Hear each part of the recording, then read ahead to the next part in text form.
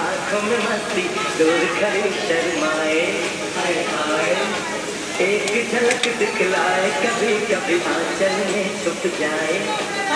आए मेरी नज़र से तुम देखो तो यार नज़र आए। बोली थी सूरत आँखों में